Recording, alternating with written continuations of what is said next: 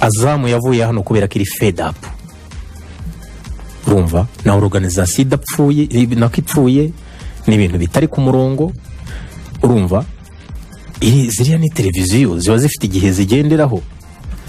Ariko ufite match ya Rayon Sport igomba kuba na inteseri rubavu saa ngapi? Saa cyenda. Abantu bazamu bakagera kwa nyirangarama akaba ari bwo bamenya inforomasiyo y'uko match yavuyeho. Wibuke ko hari amasaha abiri bateguriye iyo match nta kindi kiganiro kirimo. Urabizi byo muri media. Isaha imwe iba ifite ikigenewe n'indi ifite ikigenewe. So ibyo rero bikereye ubwenseri Mm. iriya ba heresa gurupe na bararakaye nyine baravuga batayawe ntabwo turimo gukorana n'abanyamwuga. Barigendeye gutyo. Kandi azamu ikintu yari imaze gukora aba bakinnyi b'iwacu yari imaze kubacuruza mu karere benshi. None ubu bahinze basubira ku itadoba tandukanya inzu y'itara rimwe rya rindi rya wate mirongo icyenda n'itadoba. Abo bantu ntibasa. Iyi shampiyona yose kuva azamu yagenda ifate nk'aho urumuri rwe rwahana n'urw'itadoba. Nta ntuza nta kimurika gihari. Kandi televiziyo ni ikintu gikomeye. So kuri ubu rero televiziyo y'igihugu niyo ifite iyo rayitsi barazihaye. Nayo ngira ngo urabona ko bisa nkaho niba ari ni cyo bari basinyiye sinzi uko bizagenda. Niba hazazamo iyi ntuza kadi force majeri urumva yuko imikino itabaye ariko n'ubundi inkuru iri hanze ahangaha kuri burarirwa yo yikoreye diru yayo ariko kuri federasiyo ikintu kijyanye na miliyoni magana atandatu mu gihe cy'imyaka ine ayo ni amafaranga agiye guteza deba mu banyamuryango iyi myaka yose. Itegeko ni itegeko na kontara ni kontara urabyumva?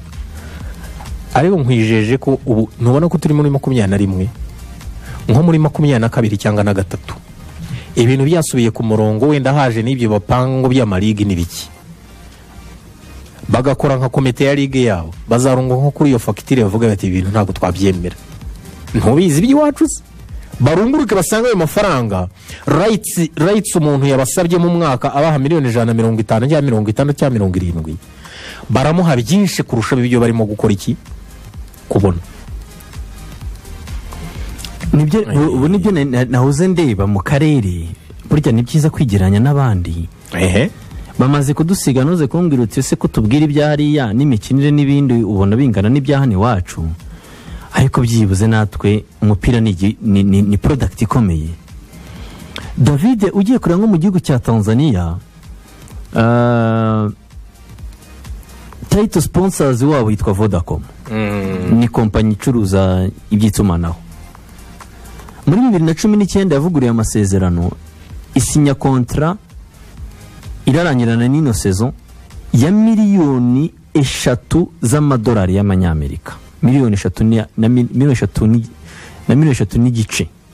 Hafi na miliyoni gutyo eshatu n'ibihumbi nka magana inani by'amadolari y'amanyamerika. Ni ukuvuga buri mwaka vodacom premier league. Vodacom david itanga 1.3 miliyoni US, usd urumva? Ni ukuvuga ngo ubundi ugiye kureba nko mu manyarwanda ni nka miliyari imwe n'ibihumbi magana atatu eh, na miliyoni magana eh, na miliyoni magana atatu z'amafaranga y'u rwanda. Miliyari imwe na miliyoni magana atatu z'amafaranga y'u rwanda buri mwaka. Wageranya n'iwacu abantu bazaba bari kuri miliyoni ijana na mirongo itandatu. Ni ngo ni abantu badukubye hafi inshuro icumi.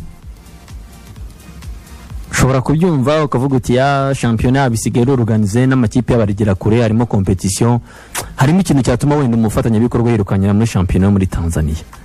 Ariko byibuze iwacu badukube byibuze nka gatatu cyangwa se kane. Inshuro icumi ni nyinshi. Tubona ko ibintu by'iwacu byasubiye hasi.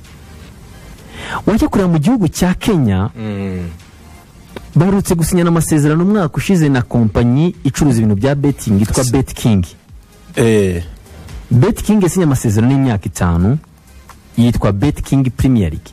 Mm. yo muri kenya. Yishyura miliyoni cumi n'imwe n'igice z'amadolari. Imyaka itanu. Imyaka itanu. So bivuze ko buri mwaka uyabaze? Urumva ni hafi miliyoni ni miliyoni ebyiri N'uturengaho. n'uturengaho z'amadolari muri make ni miliyari buri sezo miliyari ni miliyari hafi ebyiri ni miliyari ebyiri buri sezo miliyari ebyiri buri sezo undi ni miliyoni ijana na mirongo inani na. Sezo ya mbere kuko harimo ibikoresho bya mbere bagomba kugura ubundi ni miliyoni ijana na mirongo itandatu mu by'ukuri uvuze ni ukuvuga ko ntabwo ari ikibazo cyo kuvuga ngo bamwe barakinnye abandi baroya. Umuntu afite miliyari muri sezo ebyiri. Ni diri mu gihe cy'imyaka ine itageze kuri miliyoni y'amadolari. Kuko ni ibihumbi- magana atandatu na mirongo ine na bine by'amadolari. Umbariye mu makirebe arabona ibingana gute? Fata miliyoni ijana na mirongo itandatu ukuremo za organizasiyo ukuremo n'utundi tuntu muba mugomba gukora ku kibuga i doubt ko hazasigara na miliyoni zirenze ijana zo kujya kugabanya amakarabu so ikibazo noneho gisigara ni kimwe. Burya n'amafaranga aratandukana. Aje yitwa iki? Kuko hari ayo kukwitirira izina hari purayizi mani sibyo? Ibi byose biratandukana. Hari abantu batanga purayizi mani akavuga ati yewe ndatanga ibihembo mfi- mfite n'iki n'iki n'iki. Undi ati ndashaka nemingi rayiti yuko shampiyona muyinyitirira bene nk'ibi byose. Aho ngaho hari ibyo bagiye baperesiza bavuze iki? Nta kontara ntabwo ntabwo kontara ntabwo twigeze tuyisobanurirwa ku munsi w'ejo. Sinzi n'impamvu batashatse n'itangazamakuru abanyamakuru bakeya. Ku bitangazamakuru birashoboka. Kwitwaza covid ukanga gutumira itangazamakuru na cyo ni ikindi kibazo. Ubona se bakiri inshuti z'abanyamakuru?